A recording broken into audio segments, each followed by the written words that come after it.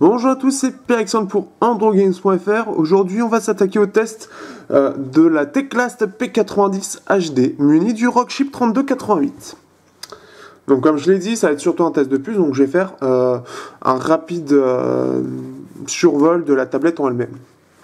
Donc, on avait déjà découvert la semaine dernière la P98R et cette fois-ci, on s'attaque à la P90 HD. Alors, qu'est-ce que je pense de la tablette en elle-même?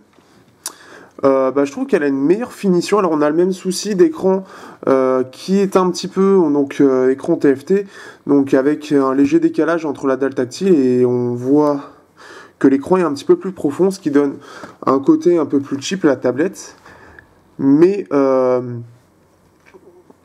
ça reste correct. Mais pour ceux qui veulent quelque chose qui fasse haut de gamme, bah, ça, ça fera toujours un peu défaut.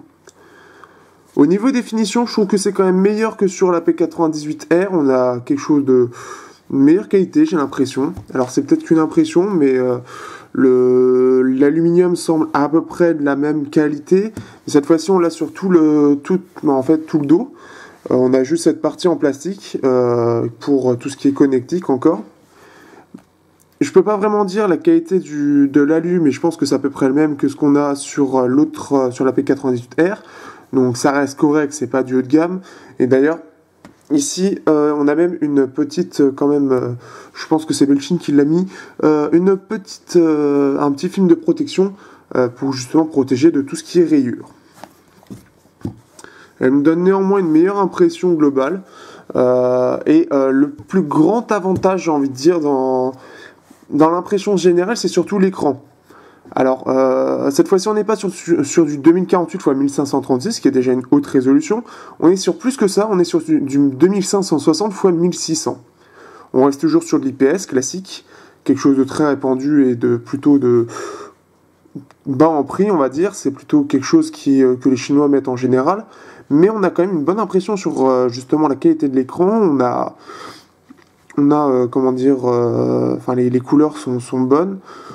Euh, je trouve qu'elles sont un petit peu vives, mais on a vraiment cette impression de finesse globale euh, partout, c'est-à-dire que même sur les, petites écritures comme ça, on a quelque chose qui est vraiment agréable.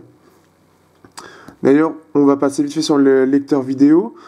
Euh, normalement, on a même donc une, une petite vidéo donc sur cette résolution là. en, fait, on se rend compte surtout sur cette vidéo là qu'on a vraiment une résolution et puis une finesse, une qualité qui est vraiment excellente.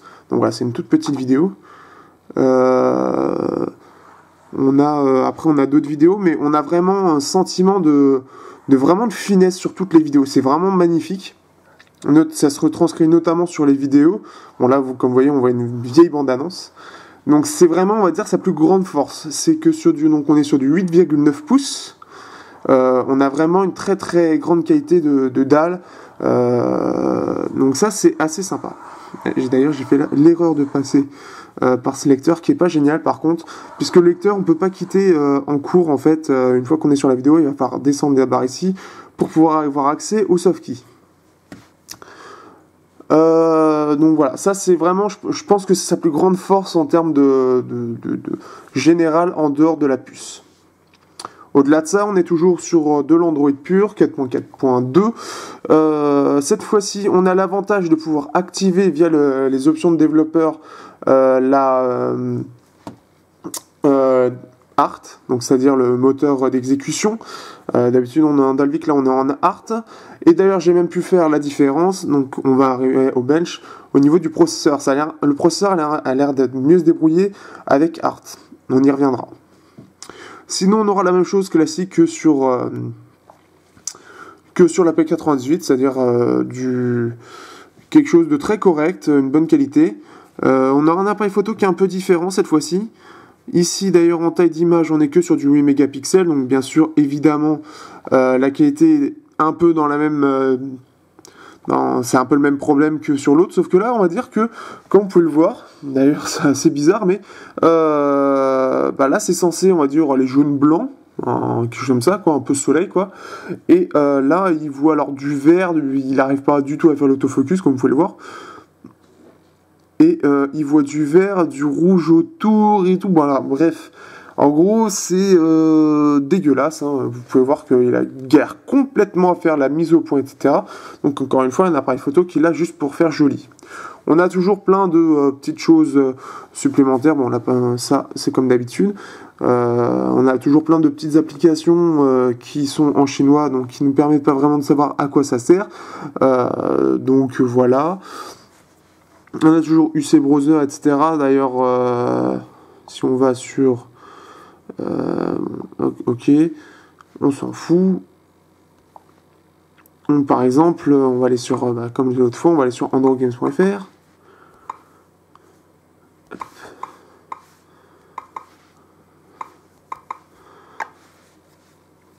Donc là, je trouve que quand même par rapport à la 4P90R, on a quand même quelque chose de plus rapide. C'est l'impression que ça donne, c'est que c'est plus rapide, donc ça c'est sympa. Euh, enfin, globalement, je trouve que au niveau des performances, enfin au niveau de la réactivité, etc. Là, on a quelque chose quand même que je trouve plus rapide que l'autre fois. Euh, on a quelque chose qui, est meilleur euh, globalement, plus rapide, plus c'est plus rapide, euh, plus réactif, etc. Une meilleure qualité de dalle puisque c'est plus fin. Donc on a vraiment cette qualité vraiment de, finesse et je trouve vraiment euh, excellente. Donc par exemple si on va sur un des articles, hum, voilà c'est pourtant c'est la même euh, chose c'est browsers HD, mais on a quelque chose qui est plus fluide, qui est je trouve une meilleure qualité. Pourtant le processeur est censé être moins bon. On y reviendra côté benchmark par rapport au processeur.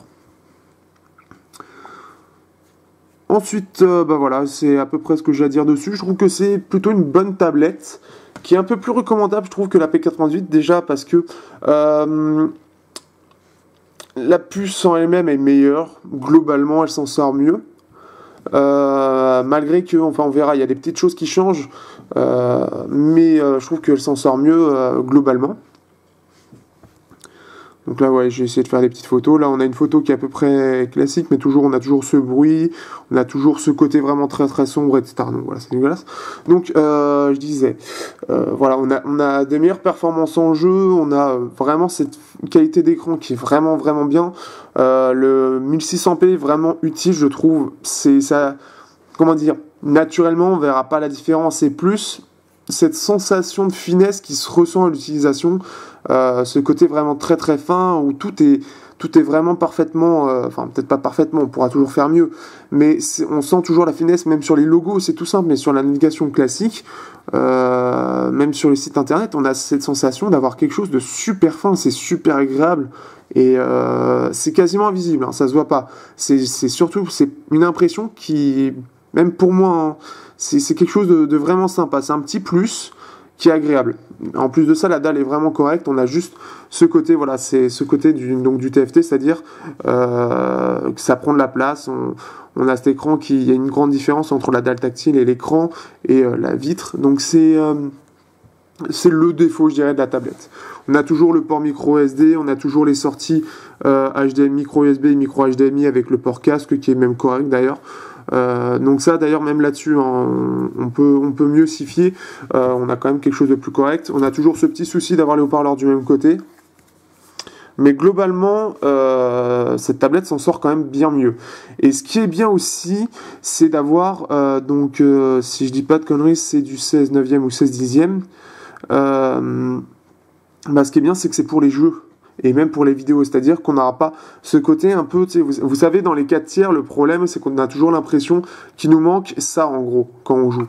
Alors que euh, là, on a vraiment euh, euh, ce côté large de l'écran qui est agréable. Et même pour les vidéos, là, vous n'aurez pas tout ce qui est bande noire, comme on a pu le voir. Donc, si je remets sur la vidéo, lecteur vidéo que j'ai, que j'ai, que j'ai là.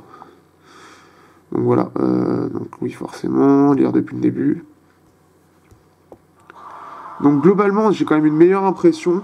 Euh, c'est une tablette qui m'a bien plu en tout cas. Par contre, on n'a pas cette option. Alors, voyez, donc ça, c'est ce que je disais. Donc là, ouais, c'est ça. C'est euh, si on est en 16 neuvième. Donc là, voilà, c'est ça. On est sur du 16 dixième.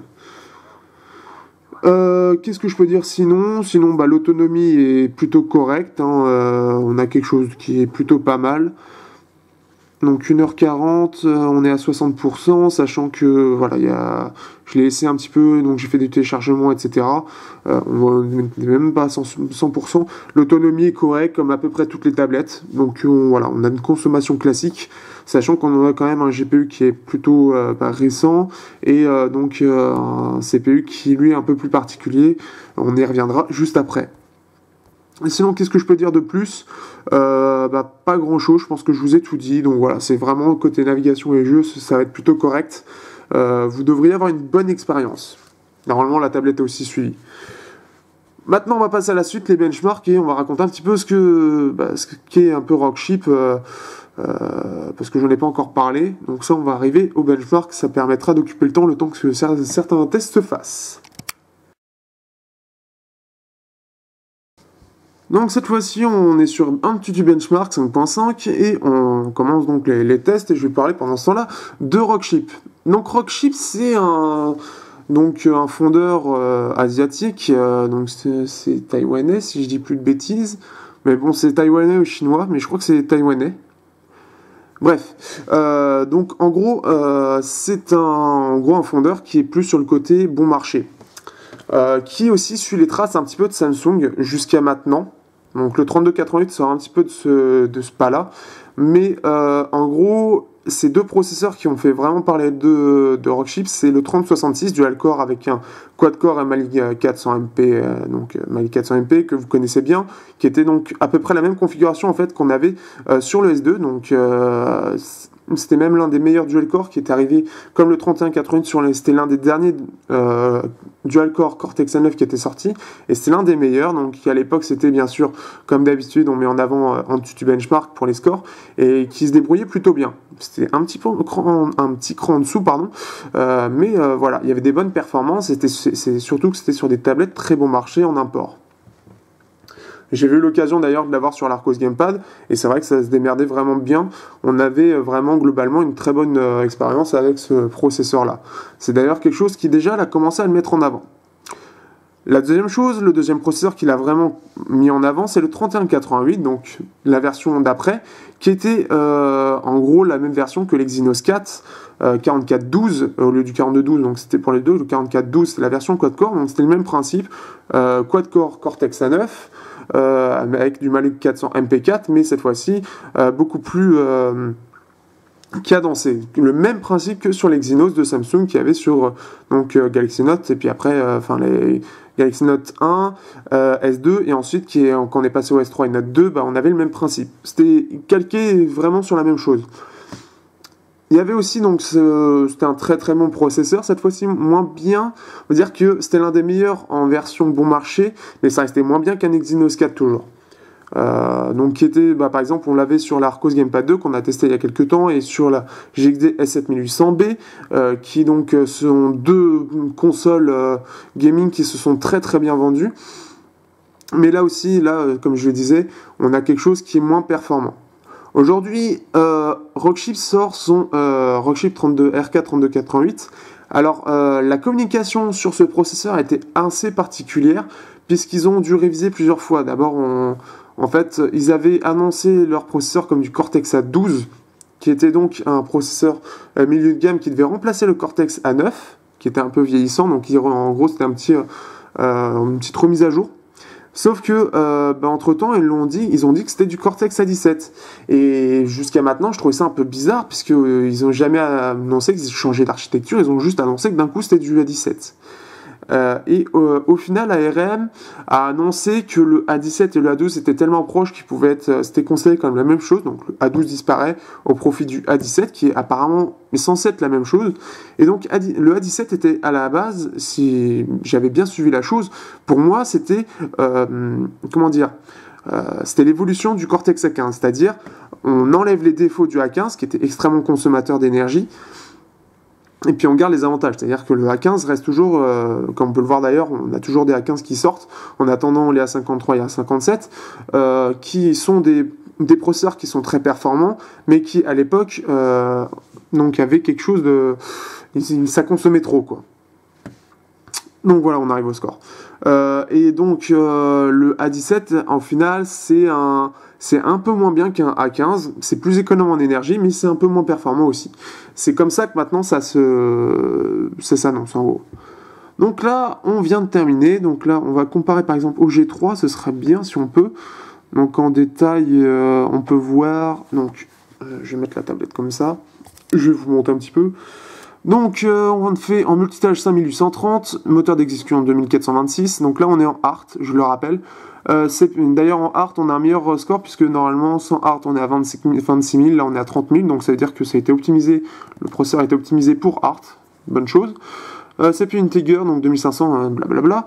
Graphisme 2D, donc 1136. Et 3D, on est à 7921. Sachant qu'on est quand même sur du 1600p, hein, ça, s'est fait là-dessus. Donc on est euh, entre un HTC One et on est en dessous d'un LG G3. Euh, on va essayer de chercher, donc rang on va comparer au G3 qui est à peu près sur. Enfin, lui, il est sur 2560 x 1540, 1440, pardon. Donc, un petit peu moins de résolution. Donc, on peut voir que. Euh, euh, aussi, donc, il est au Snap 801, donc quelque chose qui est quand même plus performant. On ira un peu plus loin là-dessus. Donc, on peut voir que multitâche et moteur d'exécution, c'est un peu meilleur sur euh, le Rockchip. Par contre, en CPU Integer F-Line Point, c'est meilleur sur l'LG G3 ainsi que Single. Mais ça ça se démerde plutôt bien, sauf en, virgule flottante. Donc c'est quelque chose qui est tendance. Euh, c'est une, une, opération qui est un peu plus complexe que le intègre. Euh, oui, intégral, pardon. Euh, opération RAM, c'est meilleur de ce côté-là. Vitesse RAM aussi. Donc là, on a quand même une RAM qui est plus rapide. Graphisme 2D, donc là, on est quelque chose qui est équivalent, un petit peu moins bien ici. par contre, graphisme 3D, là, on est bien plus performant. Et stockage et base de données aussi. Donc c'est-à-dire qu'on a en gros, on est en dessous d'un Snap 800 euh, pour à peu près la même chose. Si on compare avec un HTC One, euh, voilà, on a à peu près les performances d'un Snap 600 en gros euh, dans l'ensemble, j'ai l'impression, oui c'est ça, sauf que en, corps simple, on est meilleur. C'est à peu près ça ce qui est dit sur Antutu. Ensuite, on va aller sur Geekbench. Donc cette fois-ci on se retrouve sur Geekbench. Donc Geekbench euh, maintenant quelque chose que j'utilise euh, euh, de plus en plus, puisque c'est côté CPU c'est quelque chose de très fiable. Donc ici on peut voir qu'on a 777, hein, donc un cœur simple, en, enfin en single core on a quelque chose qui donne chance, et puis en multicore on a du 2128. Donc on va comparer, c'est le plus simple. Donc là, on se retrouve en gros toujours entre un euh, S600, euh, entre un S600, oui, ça, euh, et un S800. Donc on est à peu près dans le même style, que par exemple bah, pour le, P90R, le All-Winner, on avait à peu près la même chose. Donc on a quelque chose qui se débrouille plutôt bien pour du Cortex A16 qui est censé être moins performant. C'est-à-dire qu'en single core, c'est plutôt bien maîtrisé. En multicore, par contre, on peut voir que ben voilà, on est toujours aussi entre du euh, du S600 et S800. Euh, donc là, euh, on a quelque chose, donc voilà, toujours de milieu de gamme. Cette fois-ci, on peut mettre, c'est le Cortex A17 qui limite, puisque bah, c'est moins performant. Donc on a des résultats qui, ça veut dire que Rockchip a plutôt optimisé son processeur. Donc, pour rappel, Rockchip en fait, a eu pas mal de soucis en fait euh, là-dessus, en fait, côté optimisation de processeur, puisque euh, c'est le plus gros problème. C'est pour ça que beaucoup de choses prennent du temps à sortir. C'est parce que le processeur n'est pas encore terminé. Donc, il y a beaucoup de tablettes qui sortent, mais qui ne sont pas forcément euh, optimisées. Mais en tout cas, on a quand même des résultats qui sont plutôt corrects pour du Cortex A17. Donc, c'est-à-dire que on a quelque chose de très bien. Pour rappel, les derniers Cortex A15 qui sont sortis, donc là on les a pas, mais par exemple Tegra 1 c'est du plus de 3000 points. Donc on a quelque chose qui reste quand même, euh, voilà, en gros on a toujours un an de retard euh, par rapport au meilleur, au plus gros. Euh, et là en plus on a l'architecture qui fait que ça limite. Alors peut-être que ça s'améliorera.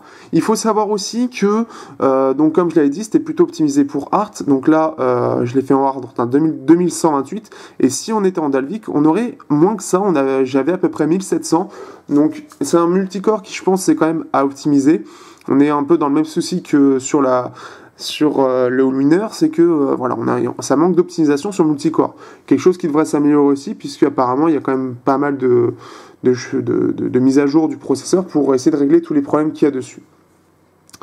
Donc voilà ce qu'on peut en dire. Donc on a quelque chose qui est moins performant que la, que winner côté CPU, euh, sans, sans qu'il y ait un gouffre, on a, c'est légèrement moins performant. Alors, petite chose, donc euh, moi je fais euh, normalement sur Anomaly 2, les tests en high quality, malheureusement, ils ne se lancent pas. Donc c'est sûrement dû au manque, et ça on va y arriver, au manque de, de l'OpenGL 3.0, du support de l'OpenGL 3.0. Et ça c'est le plus gros souci actuellement qu'il y a sur cette tablette, c'est ce, problème-là. Donc, euh, à voir si euh, ça va s'améliorer. Donc là, on est quand même en, euh, normal. Donc quand Ekiti doit manquer des choses qui fait que ça fait planter l'application. On revient à la fin du benchmark. Bah, au final, j'ai arrêté pour rien puisque bah, en fait, ça vient de planter.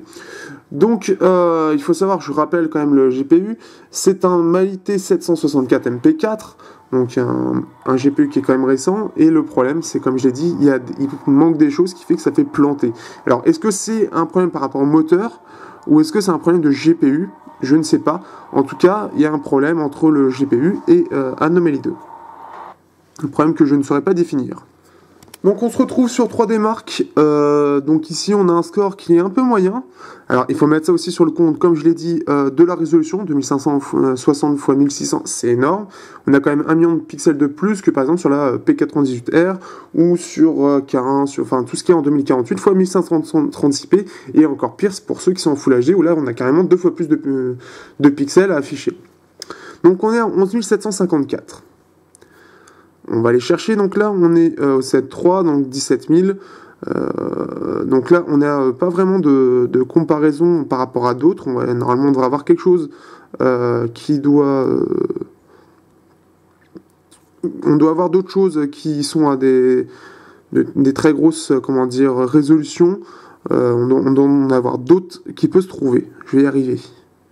Donc on se retrouve euh, autour de, ce qu'on a. Donc on peut voir qu'on fait pareil qu'un MeetOS en S600 hein, qui a une résolution de 720p.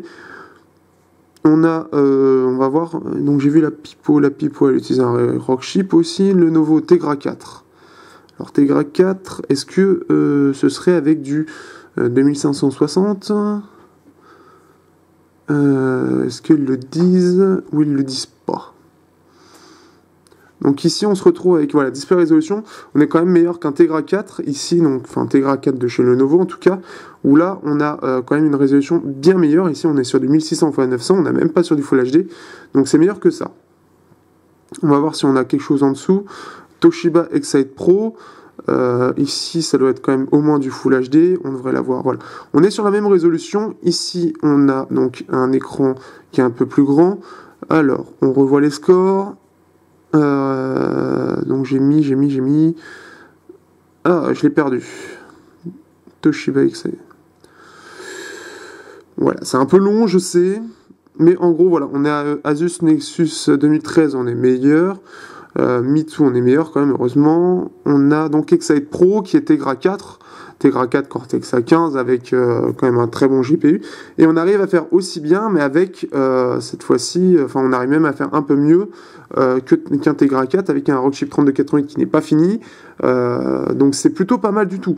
On a on a quand même un bon score par rapport à la résolution, donc ça c'est pas mal. On est au niveau d'un Tegra 4, voire un petit peu meilleur.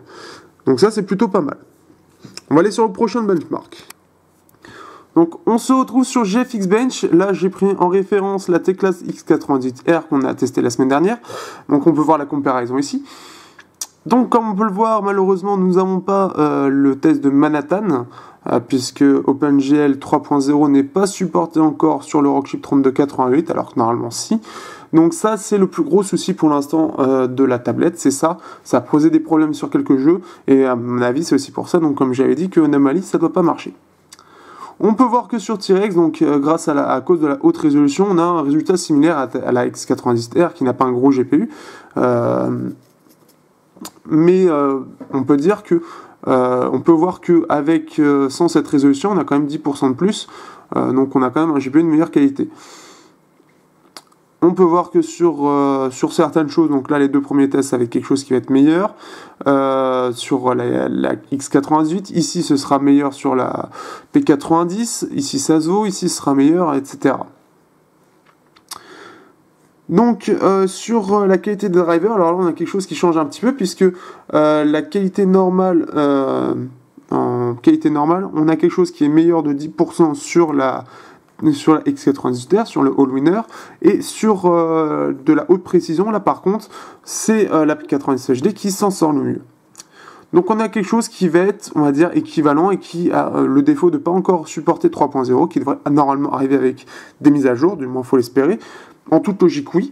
Donc voilà, c'est le problème de Rockchip, c'est qu'ils ont pris du retard, donc ils ont quand même commercialisé le Rockchip, mais c'est encore en version bêta. Donc voilà, on peut résumer ça comme ça. Donc on peut voir que ça s'en sort bien, sauf que bah, on n'a pas 3.0. On se retrouve sur XCOM et on va regarder tout de suite ce que ça vaut. Donc là j'ai passé l'initiation par rapport à d'habitude. Donc sur XCOM, alors on va avancer un peu. Donc là, euh, on va aller quelque part par là. On va aller que là.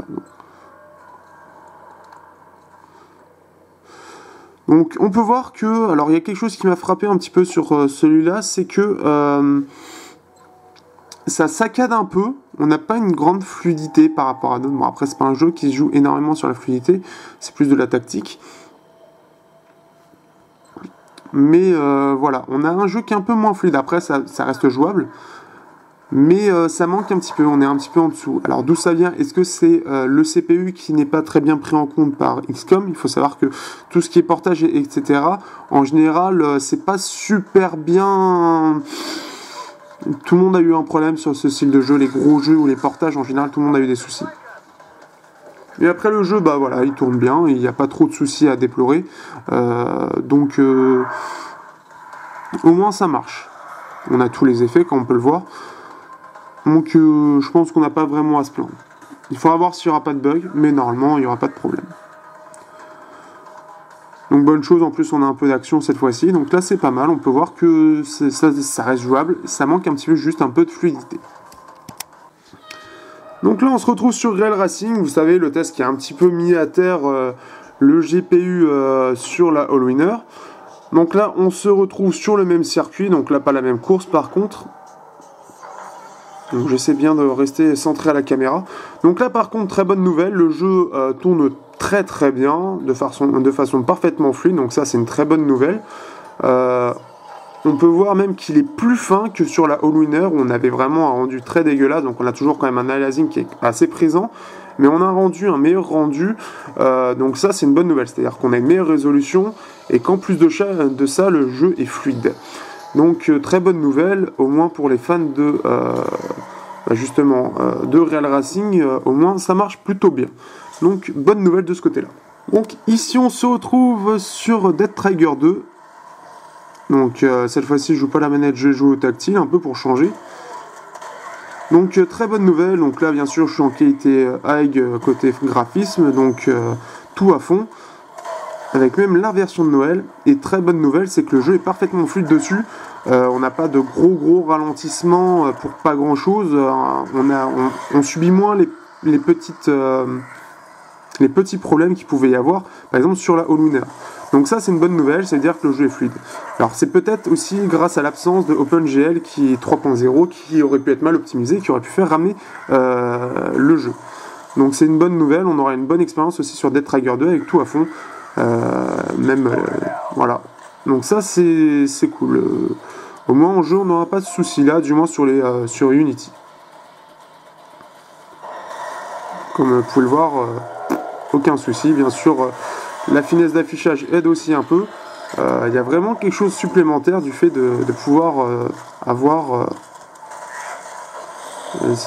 la, finesse d'écran ajoute vraiment un vrai petit plus. Euh, alors, je sais pas si le jeu par contre tourne en 2560 x 1600, mais par contre, en tout cas, euh, il n'y a pas vraiment de, j'ai pas à me plaindre de l'aliasing ou quoi. Le jeu est très fin, euh, même très très fin, donc c'est très agréable à jouer. Donc ça, c'est vraiment une bonne nouvelle. On se retrouve sur Modern Combat 5, donc maintenant un classique que je mets puisqu'il utilise des graphismes plutôt pas mal du tout. Toujours le même niveau, puisqu'il faut toujours précharger, etc. J'ai toujours des petits problèmes avec ça. En plus de ça, j'ai un petit problème avec euh, mon, euh, mon compte euh, sur, bah, sur cet appareil-là. il ne veut pas charger. Petit bug qui peut arriver. Je vais pas chercher plus loin, on a le niveau qu'il me faut. Donc voilà. Donc là, on a bah, des performances qui sont excellentes, hein, encore cette fois-ci. comme quoi les benchmarks ne peuvent ne pas toujours résumer la situation. Enfin, voilà, c'est toujours un résultat synthétique qui ne veut pas forcément dire grand-chose. Euh, on a toujours un jeu qui est parfaitement fluide. On va changer d'arme pour le fun. Un gros bœuf Et voilà, ça de jouer au tactile, c'est que j'ai tendance à tirer accidentellement. Donc voilà, le jeu est vraiment parfaitement fluide, ça c'est vraiment cool. Euh, j'ai rien à dire. On n'a pas de micro-ralentissement, c'est parfaitement fluide, c'est euh, fin. Le jeu prend en compte, enfin les graphismes sont bien sûr à fond aussi. On voit toutes les lumières, etc. On va lancer une petite grenade. Ah. On va relancer, voir. Voilà, pas de souci, tout marche très très bien, donc ça c'est vraiment cool. Euh, même sur Modern Combat 5, ça marche bien, mais euh, on va montrer une petite exception, toujours sur le même moteur de Gameloft, et on revient tout de suite. Donc ici, vu que le jeu était compatible avec la tablette, je me suis dit autant le télécharger. Donc c'est Brother in Arms 3, vous l'aurez reconnu. Euh, bon petit jeu sympa de chez Gameloft, un peu particulier, mais bon sympathique. Alors le jeu est plutôt léger, pourtant il est plutôt, il y a, plutôt pas mal de détails. Donc je me demande si c'est pas grâce à OpenGL 3.0 que on a des graphismes aussi bien. Est-ce que ce serait pour ça que la tablette galérerait autant? On peut voir que là, par contre, le jeu ne suit pas du tout. Pourtant, c'est exactement le même moteur. Donc, il doit y avoir quelques modifications, mais on peut voir que euh, bah, le jeu là est quasiment injouable. Il est extrêmement saccadé et malheureusement, on ne peut pas en profiter comme on devrait pouvoir en profiter. Donc, euh, bien malheureusement, euh, bah, sur Browser et Armstrong, vous ne pourrez pas en profiter. Voilà. Sur la All Winner, c'était Real Racing. Ici, ce sera Browser et Arms 3. A noter que sur la All Winner, Browser Arms 3 n'est pas compatible. Nous voici enfin sur World of Tanks, dernier jeu euh, de ce test.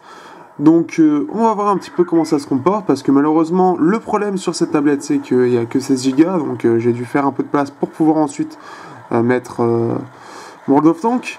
Donc je découvre avec vous parce qu'il est un peu tard chez moi donc j'aimerais bien aller dormir. Donc on peut voir au niveau des FPS en bas qu'on est à 50 FPS, pas mal du tout. On va voir un peu en combat. Mais en tout cas déjà on a euh, une bonne fluidité, pas de, on n'a pas de souci de d'accroche avec, euh, enfin on en a très peu avec par rapport à la All Winner. On vient d'en voir une. Mais à part ça on arrive carrément à aller à 60 FPS, qui est pas mal du tout. Euh, donc même ma Mi Pad ne fait pas autant alors que bah, pourtant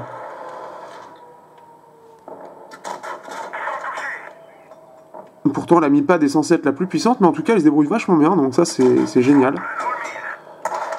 Je me fais tirer dessus.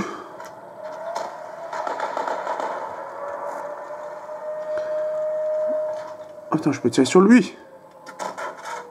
Sur lui, ce sera mieux. Donc ouais, là, on a une très très bonne performance sur World of Tanks, donc ça, c'est très bien. Euh, par rapport à la Houliner où elle galère un peu plus, euh, là, euh, très content au final puisque ouais, on est dans, sur une moyenne de 50 FPS, qui est vraiment bien, avec des... Enfin, on est entre 44 et 50 FPS, j'ai pas encore vu euh, de 20 FPS apparaître, donc ça c'est vachement bien. Ça prouve que voilà, la puce en a quand même en revend et que bah, il manque encore un peu quelques drivers, mais sur World of Tanks en tout cas, bah, les performances sont impressionnantes puisque euh, bah, puissant, que ce soit un snap puissant ou quoi que ce soit, eh ben, euh, on n'a pas autant de FPS en moyenne. Oula, j'ai eu un gros lag. Et j'ai un pote qui se met devant moi. Ah. Forcément, on arrive enfin... Euh, non. Ah d'accord. Bah voilà. On va arriver en fin de, de test. Fin de batterie aussi surtout. Donc on va faire cette petite partie où je me débrouille plutôt bien, mais en tout cas on peut voir que les performances sont vraiment très très bonnes. 54 FPS, 46. Ah, on est à 35, donc des petites baisses par-ci par-là. Donc après, c'est à mettre aussi, je pense, là, je pense que c'est vraiment à mettre sur le moteur de Wargaming qui est pas terrible, qui est un, pas très très beau, et assez bouffeur de ressources, donc ça fait un bon benchmark, on va dire, d'un portage d'un moteur à la base PC. Donc on peut voir que ça se déroule plutôt bien, donc on va finir sur une bonne note, et on va faire la conclusion. Donc pour conclure, comment résumer cette tablette? Eh ben c'est une bonne surprise. En effet, euh, on avait quelques appréhensions puisque euh, donc avec Belchine on avait parlé un peu de Rockship et le problème étant que la puce n'étant pas finalisée côté driver etc. Mais on a de très très bonnes performances puisque en général à peu près sur tout le jeu sur Browser in Arms étonnamment donc c'est peut-être aussi le jeu qui fait ça hein, c'est possible aussi mais euh, bah, sur tous les jeux qu'on a testés, c'est superbement bien débrouillé. En tout cas, par rapport à la P98, elle s'en sort mieux, globalement. Puisqu'on n'aura pas eu de soucis avec Real Racing, on aurait eu de meilleures performances sur World of Tank, euh, ainsi que sur Death Trigger, enfin même sur tous les jeux au final. Euh, on a une très bonne fluidité. on a une partie navigateur vidéo qui est très très bonne. L'écran est, la finesse d'écran est vraiment bien. C'est vraiment une bonne chose. la finition est même meilleure.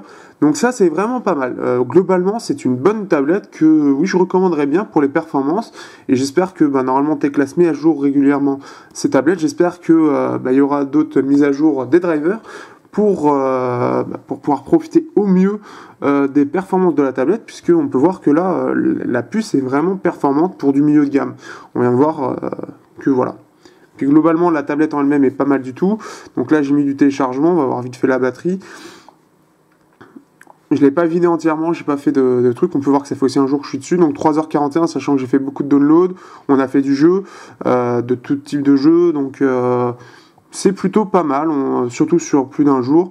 Après la veille, ce sera classique, ça se vide assez vite, euh, mais on reviendra, on verra que, bah, en fait, ça va être pareil en face par rapport à la P88, mais voilà on a quelque chose qui est quand même pas mal, même si euh, c'est encore, on va dire, en phase bêta côté puce. À mon avis, aujourd'hui, on est sur une phase bêta avancée. Mais voilà, c'est une bonne tablette en tout cas. Bonne tablette.